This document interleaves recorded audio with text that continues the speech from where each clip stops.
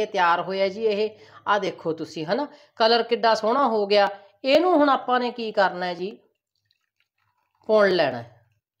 ਆਪ ਆ ਜੀ, ਹੁਣ ਆਪਾਂ ਤੁਹਾਨੂੰ ਦਿਖਾਉਨੇ ਆ ਜੀ 골ਡਨ ਟੀ ਬਣਾਉਣੀ ਵੀ। ਆਪਾਂ 골ਡਨ ਟੀ ਕਿਵੇਂ ਤਿਆਰ ਕਰਨੀ ਹੈਗੀ ਹੈ? ਜਿਹੜੀ ਕਿ ਆਪਣੀ ਸਿਹਤ ਨੂੰ ਤੰਦਰੁਸਤੀ ਰੱਖਦੀ ਹੈ। ਉਹਦੇ ਵਾਸਤੇ ਆਪਾਂ ਕੀ ਕਰਨਾ ਜੀ? ਆ ਕੇਟਲੀ ਲੈ ਲਈ। ਇਹਦੇ ਵਿੱਚ ਤੁਸੀਂ ਕੀ ਕਰਨਾ ਹੈਗਾ ਜੀ? ਜਿਵੇਂ ਮਤਲਬ ਕਿ ਇੱਕ ਕੱਪ ਦੁੱਧ ਦਾ ਪਾ ਦੇਣਾ ਹੈਗਾ। ਇਹ ਕੇਟਲੀ ਦੇ ਵਿੱਚ ਤੁਸੀਂ ਇੱਕ ਕੱਪ ਪਹਿਲਾਂ ਸਾਰਿਆਂ ਤੋਂ ਪਹਿਲਾਂ ਆਪਾਂ ਦੁੱਧ ਦਾ ਪਾ ਦੇਣਾ ਜੀ। ਠੀਕ ਹੈ ਜੀ। ਇਹ ਆਪਾਂ ਦੁੱਧ ਦਾ ਪਾਤਾ, ਇਹ ਕੱਪ ਵੱਡਾ ਤੁਸੀਂ ਅੱਧਾ ਵੀ ਲੈ ਸਕਦੇ ਹੋ ਜੀ ਤੇ ਤੁਸੀਂ ਜੇ ਜ਼ਿਆਦਾ ਦੁੱਧ ਪੀ ਸਕਦੇ ਹੋ ਤਾਂ ਭਰਿਆ ਵੀ ਲੈ ਸਕਦੇ ਹੋ। ਮੈਂ ਇੰਨਾ ਕੀ ਪਾਇਆ ਹੈਗਾ, ਉਸ ਤੋਂ ਬਾਅਦ ਆਪਾਂ ਨੇ ਕੀ ਕਰਨਾ ਜੀ ਆ ਦੇਖੋ ਤੁਸੀਂ ਦੁੱਧ ਪਾ ਲਿਆ। ਆਪਾਂ ਜੀ ਸਿਲੰਡਰ ਚਲਾਉਣਾ ਹੈਗਾ, ਆਪਾਂ ਗੈਸ ਚੁੱਲ੍ਹਾ ਤੇ ਇਹਦੇ ਉੱਤੇ ਇਹਨੂੰ ਰੱਖ ਦੇਣਾ ਜੀ। ਠੀਕ ਹੈ ਜੀ।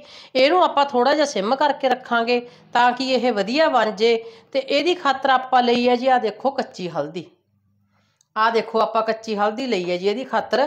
ਜਿਹੜੀ ਕਿ ਇਹ ਹਲਦੀ ਮੇਰੇ ਕੋਲੇ ਪਈ ਹੁੰਦੀ ਹੈ, ਮੈਂ ਤੁਹਾਨੂੰ ਦੱਸ ਦਿੰਨੀ ਹਾਂ ਵੀ ਆਪਾਂ ਕਿੰਨੀ ਕੁ ਇਹ ਕੱਟ ਕੇ ਤੇ ਕਿੰਨੀ ਕੁ ਤਿਆਰ ਕਰਨੀ ਹੈ। ਇਹ ਜੇ ਤੁਸੀਂ ਮਤਲਬ ਕਿ ਰੇਜ ਰੋਜ਼ਾਨਾ ਡੇਲੀ ਬਣਾ ਕੇ ਪੀਂਦੇ ਹੋ ਤਾਂ ਤੁਹਾਡੇ ਜੋੜ ਨਹੀਂ, ਕਦੇ ਦਰਦ ਹੋਣਗੇ ਜੀ, ਕਦੇ ਤੁਹਾਨੂੰ ਗਠੀਆ ਵਾ ਨਹੀਂ ਹੋਊਗੀ, ਕਦੇ ਤੁਹਾਨੂੰ ਯੂਰਿਕ ਐਸਿਡ ਨਹੀਂ ਵਧੂਗਾ, ਕਦੇ ਤੁਹਾਡੇ ਮਤਲਬ ਪੇਟ ਦੇ ਵਿੱਚ ਇਨਫੈਕਸ਼ਨ ਨਹੀਂ ਆਊਗੀ, ਇਹਦੇ ਨਾਲ ਕੋਲੇਸਟ੍ਰੋਲ ਵੀ ਘਟਦਾ ਜੀ, ਸ਼ੂਗਰ ਵੀ ਠੀਕ ਹੁੰਦਾ ਹੈ, ਬਲੱਡ ਪ੍ਰੈਸ਼ਰ ਵੀ ਠੀਕ ਹੁੰਦਾ ਹੈ, ਜਾਣੀ ਕਿ ਇਹ ਸਿਹਤ ਦਾ ਰਾਮਬਾਣ ਹੈ।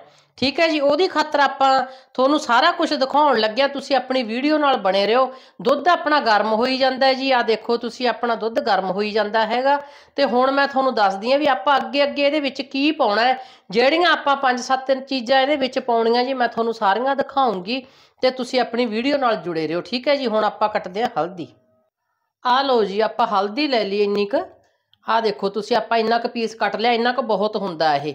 ਠੀਕ ਹੈ ਜੀ, ਇਹਨੂੰ ਆਪਾਂ ਹੁਣ ਤਿਆਰ ਕਰਦੇ ਆ ਇਹਦੇ ਵਿੱਚ ਕੱਦੂਕਸ਼ ਕਰ ਲੈਣੇ ਆ ਜੀ। ਆਹ ਦੇਖੋ ਤੁਸੀਂ, ਇਹਦੇ ਵਿੱਚ ਹੀ ਕੱਦੂਕਸ਼ ਕਰ ਲੈਣਾ ਆਪਾਂ।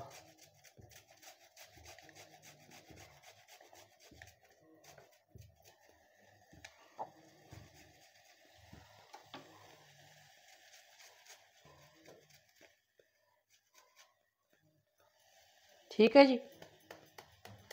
ਆ ਕੱਦੂਕਸ ਕਰ ਲਿਆ ਆਪਾਂ। ਹੁਣ ਆਪਾਂ ਨੇ ਜਿਹੜੀ ਰਹਿੰਦੀ ਚੀਜ਼ ਹੈ ਜੀ, ਉਹ ਕੀ ਪਾਉਣੀ ਹੈਗੀ ਇਹਦੇ ਵਿੱਚ? ਆਹ ਦੇਖੋ ਤੁਸੀਂ, ਆਪਾਂ ਇੱਕ ਇਲਾਇਚੀ ਲੈ ਲਈ, ਮੈਂ ਤੁਹਾਨੂੰ ਹੱਥ ਤੇ ਰੱਖ ਕੇ ਵਿਖਾ ਦਿੰਨੀ ਆ ਜੀ।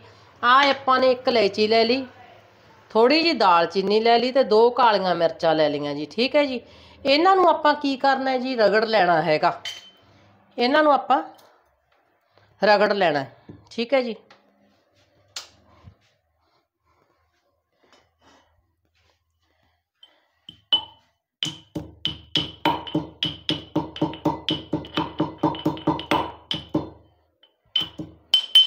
ਆ ਰਗੜ ਕੇ ਜੀ ਹੁਣ ਇਹਦੇ ਵਿੱਚ ਪਾ ਦਿਓ ਤੁਸੀਂ। ਠੀਕ ਆ? ਆਪਾਂ ਇੱਕ ਵਾਰੀ ਗੈਸ ਬੰਦ ਕੀਤਾ ਸੀ।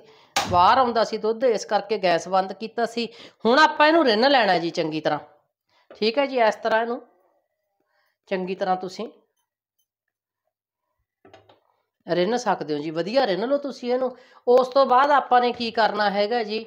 ਤੁਸੀਂ ਮਿਸਰੀ ਵੀ ਪਾ ਸਕਦੇ ਹੋ, ਪਰ ਮੈਂ ਇਹਦੇ ਵਿੱਚ ਥੋੜੀ ਜੀ ਚੀਨੀ ਪਾਈ ਹੋਈ ਹੈ।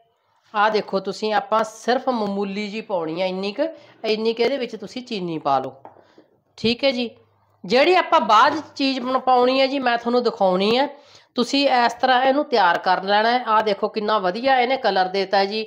ਇਹਦੇ ਨਾਲ ਸਕਿਨ ਦੇ ਅਗਰ ਕੋਈ ਪ੍ਰੋਬਲਮ ਆ ਤੁਹਾਡੇ, ਜਿਵੇਂ ਕਿ ਆਪਾਂ ਕਹਿੰਦੇ ਨੇ ਖਾਰਸ਼ ਵਗੈਰਾ ਹੋ ਗਈ, ਦਾਗ ਧੱਬੇ ਹੋ ਗਏ, ਛਾਈਆਂ ਹੋ ਗਈਆਂ ਤੁਹਾਨੂੰ ਕੋਈ ਸਕਿਨ ਦੀ ਦਿੱਕਤ ਹੋ ਗਈ, ਖੁਰਕ ਵਗੈਰਾ ਰਹਿਣ ਲੱਗ ਜਾਂਦੀ ਹੈ ਜੀ ਅਲਰਜੀ ਹੋਣ ਲੱਗ ਜਾਂਦੀ ਹੈ, ਉਹਨੂੰ ਇਹਨੇ ਬਿਲਕੁਲ ਠੀਕ ਕਰ ਦੇਣਾ ਹੈਗਾ, ਠੀਕ ਹੈ ਜੀ।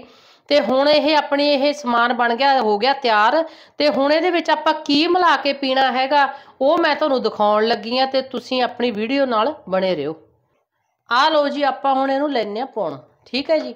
ਆ ਆਪਣਾ ਤਿਆਰ ਹੋ ਗਿਆ ਦੇਖੋ ਕਿੰਨਾ ਸੋਹਣਾ, ਵਧੀਆ ਬਣ ਕੇ ਤਿਆਰ ਹੋਇਆ ਜੀ ਇਹ। ਆ ਦੇਖੋ ਤੁਸੀਂ, ਹਨਾ। ਕਲਰ ਕਿੱਡਾ ਸੋਹਣਾ ਹੋ ਗਿਆ। ਇਹਨੂੰ ਹੁਣ ਆਪਾਂ ਨੇ ਕੀ ਕਰਨਾ ਹੈ ਜੀ? ਪੁਣ ਲੈਣਾ ਆਪਾਂ ਇਹਨੂੰ ਕੱਪ ਦੇ ਵਿੱਚ ਪੁਣ ਲਿਆ, ਠੀਕ ਹੈ? ਤੁਸੀਂ ਇਹੋ ਜੀ ਮਤਲਬ ਕਿ ਲੋਹੇ ਵਾਲੀ ਛਾਨਣੀ ਰੱਖਿਓ ਜੀ, ਚਾਹ ਛਾਨਣ ਵਾਲੀ, ਤਾਂ ਕਿ ਇਹਨੂੰ ਕਲਰ ਚੜ ਜਾਂਦਾ ਫਿਰ ਦੂਜੀ ਦੇ ਨਾਲ। ਠੀਕ ਹੈ ਜੀ? ਆ ਦੇਖੋ ਆਪਾਂ, ਇਹ ਵਧੀਆ ਤਿਆਰ ਹੋ ਗਿਆ। ਹੁਣ ਆਪਾਂ ਰੱਖਤਾ ਜੀ ਇਹਨੂੰ ਇੱਥੇ, ਤੇ ਆਪਾਂ ਹੁਣ ਇਹਨੂੰ ਕੱਪ ਨੂੰ ਰੱਖਦੇ ਹਾਂ ਜੀ ਹਾਂਜੀ, ਜਿਹੜੀ ਚੀਜ਼ ਹੁਣ ਮੈਂ ਤੁਹਾਨੂੰ ਪਾ ਕੇ ਦਿਖਾਉਣ ਲੱਗੀ ਆ ਇਹਦੇ ਵਿੱਚ ਜਿਹੜੀ ਚੀਜ਼ ਆਪਾਂ ਹੁਣ ਇਹਦੇ ਵਿੱਚ ਪਾਉਣੀ ਹੈ ਜੀ, ਉਹ ਕੀ ਚੀਜ਼ ਹੈ?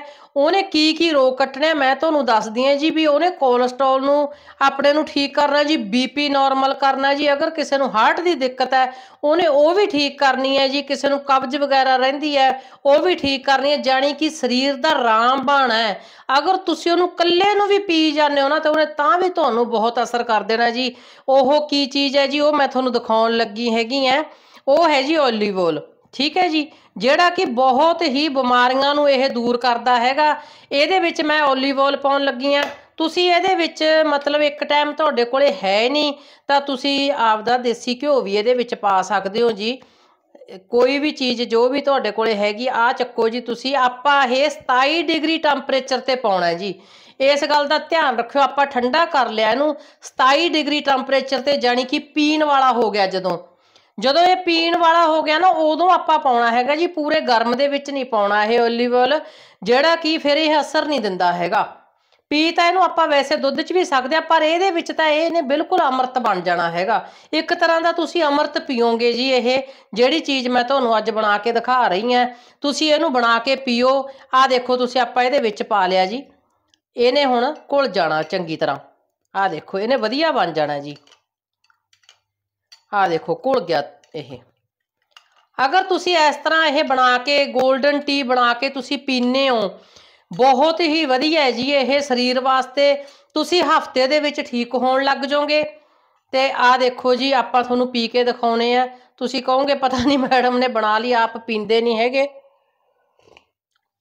ਬਹੁਤ ਹੀ ਕੀਮਤੀ ਚੀਜ਼ ਬਣ ਗਈ ਜੀ ਇਹ। ਇਹਦਾ ਟੇਸਟ ਵੀ ਦੁੱਗਣਾ ਹੋ ਦੰ- ਹੋ ਜਾਂਦਾ ਜੀ ਓਲੀਵ ਆਇਲ ਨਾਲ। ਠੀਕ ਹੈ ਜੀ? ਤੁਸੀਂ ਵੀ ਇਸ ਤਰ੍ਹਾਂ ਬਣਾ ਕੇ ਪੀਓ ਤੇ ਮੇਰੀ ਵੀਡੀਓ ਤੁਹਾਨੂੰ ਕਿਵੇਂ ਲੱਗੀ? ਤੁਸੀਂ ਕਮੈਂਟਾਂ ਦੇ ਵਿੱਚ ਜਰੂਰ ਦੱਸਣਾ ਜੀ। ਲਾਈਕ ਕਮੈਂਟ ਤੇ ਸ਼ੇਅਰ ਵੱਧ ਤੋਂ ਵੱਧ ਕਰ ਦਿਆ ਕਰੋ ਤਾਂ ਕਿ ਕਿਸੇ ਦਾ ਭਲਾ ਹੋ ਸਕੇ। ਠੀਕ ਹੈ ਜੀ? ਸਤਿ ਸ੍ਰੀ ਅਕਾਲ।